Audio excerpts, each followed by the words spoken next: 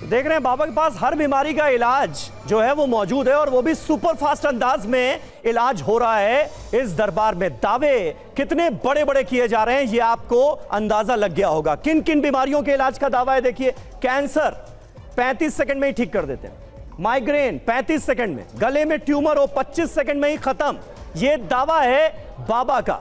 ऐसे ऐसे दावे किए जा रहे हैं कि आप हैरान हो जाएँगे सुनकर। अस्थमा 40 सेकंड में खत्म। फूक मारो, बीमारी खत्म। सर्वाइकल 55 सेकंड में खत्म। थायराइड 35 सेकंड में खत्म। ये दावे किए जा रहे हैं। मोतियाबिंद का इलाज 15 सेकंड में ही करने का दावा।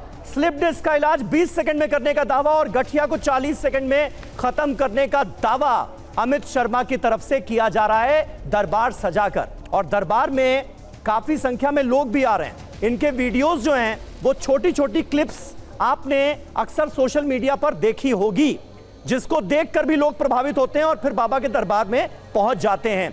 अमित शर्मा जी, ये क्यों ना माना जाए कि आप खुद ही इन तमाम लोगों को अपने दरबार में बुलवाते हैं और उनसे कहते हैं कि कह देना कि मुझे ये बीमारी थी और उसके बाद आप सेकेंडों में इलाज कर देते हैं। वो वीडियो वायरल कर दिए जाते हैं ताकि आपके भक्तों की संख्या बढ़ती रहे दिन ब दिन। जी जी जी जी। हम जवाब दें? जी बोलिए। हेलो? आवाज़ देखिए जी सबसे बड़ी बात तो दरबार की ये है कि यहाँ किसी भी तरह का कोई हम पैसा नहीं लेते।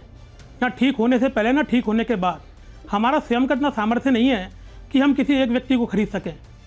आप हमारा घर आके देख सकते हैं एक छोटा सा मकान है हमारा। उसी में माता रानी का मंदिर है। हमारे पास स्वयं के पास साइकिल भी नहीं है। तो यदि ये लोग जो दावा करते हैं कि ये लोग मेरे खरीदे हुए हैं तो उन लोगों के लिए मैं कहता हूँ कि आपके लिए दरबार में खुले में निमंत्रण है। और आप आए यदि आपको लगता है कि ये गलत हो रहा है तो आप ऑब्जेक्शन उठाएँ। हमारे दरबार तो 2016 से लगता आ रहा है पचासों दरबार लग गए। हम्म हम्म अगर इसमें कहीं किसी भी तरह का ढोंग या पाखंड होता तो ये अब तक लगता ही नहीं। और फिर मैं आपको एक बात और बता दूँ आपको भी हँसी आ जाएगी कि हम बाबाओं का सरनेम हो गया ढोंगी। क्या बाबा कितने भी अच्छे सतमार्ग पे चल ले ढोंगी शब्द ज़रूर लगाएँगे। हम्म ये जो सनातन विरोधी हैं यही लोग ऐसी बातें कर सकते हैं। और मेरा किसी के लिए चैलेंज नहीं है ना मेडिकल साइंस के लिए ना किसी के लिए। मैं सबों का हाथ जोड़कर स्वागत करता हूँ आमंत्रण देता हूँ निमंत्रण देता हूँ कि एक बार दरबार में आए अपनी आँखों से देखें फिर आकर बोलें। अमित शर्मा जी लेकिन आपने कहा कि मैं तो बड़ा छोटा आदमी हूँ। मैं मैं एक तो बड़ा छोटा आदमी हूँ। जो छोटा आदमी है अगर किसी कोई अपने आप को मानता है तो वो बड़ा आदमी बनने की तमन्ना भी तो रखता है। ये भी तो एक हकीकत है। शर्मा जी मैं आपके पास आता हूँ। इस वक्त डॉक्टर अंशुमान हमारे साथ मौजूद हैं। बहुत बड़े कैंसर स्पेशलिस्ट हैं सर्जन हैं। वो हमारे साथ इस वक्त मौजूद हैं स्टूडियो में ही। डॉक्टर अंशुमन बाबा के इन दावों को आप कैसे देखते हैं? कैंसर जैसी गंभीर बीमारी का इलाज 35 सेकंड में एक फूक से करने का दावा हो रहा है। और बहुत सारे लोग जो हैं वो इन वीडियोस को देखकर सच भी मान रहे होंगे। जी मैं इनका सुन रहा था। काफ़ी फ्लॉज इन्होंने डाले हैं। हाँ। आस्था होनी चाहिए। कृपा होनी चाहिए। अगर विश्वास नहीं होगा तो इलाज नहीं होगा। ये इसको हम कहते हैं फेलेसीज ऑफ़ आर्गूमेंट अगर आप फेलेसीज डाल देंगे तो जिसका ठीक नहीं होगा ऑब्वियसली जब आप टेस्ट करेंगे तो कह देंगे ये फेलेसी में आगे इनकी आस्था नहीं थी पहली बात। दूसरी बात कि कैंसर एक ऐसी अनसुलझी पहली अभी भी चल रही है। पूरा विश्व लगा हुआ है आए दिन रिसर्च जेनेटिक थेरेपी ट्रांसप्लांट से लेके सारा कुछ। जिसके जांचों में तीन से चार दिन का समय लग रहा है सारा कुछ लग रहा है। सबसे पहले जाँच की जाती है इलाज करके जाँच करके दिखाते हैं खत्म हो गया। तो पहले डॉक्यूमेंटेशन इनके पास नहीं है इसको मानना असंभव है। और वाकई अगर इतनी अच्छी चीज़ आ गई है तो गवर्नमेंट ऑफ़ राजस्थान फिर गवर्नमेंट ऑफ़ इंडिया को चाहिए सारे कैंसर हॉस्पिटल को बंद करके बाबा को स्वास्थ्य मंत्री बनाया जाए। और इनसे कह दिया जाए फूक मारिए एक माइक पे पूरे विश्व में कैंसर इरेडिकेट हो जाएगा। और मैं इनका शिष्य बनने को तैयार हूँ। एक मरीज़ कैंसर का ठीक करके दिखाएँ मॉनिटर लेकिन मैं करूँगा। हम्म। शर्मा जी चैलेंज एक्सेप्ट करेंगे कि नहीं? जी। नहीं हम दरबार में लेकर आए इनको। हमारे लिए दरबार का आदेश है। हम्म। जब हमारा अगला दरबार डॉक्टर साहब से कहिए कि डॉक्टर साहब ही अगला दरबार लगवा दें। अरे भाई शर्मा जी यही तो बात हुई। डॉक्टर। अंशुमन कह रहे हैं कैंसर के एक मरीज़ को लेकर आए आपके दरबार में।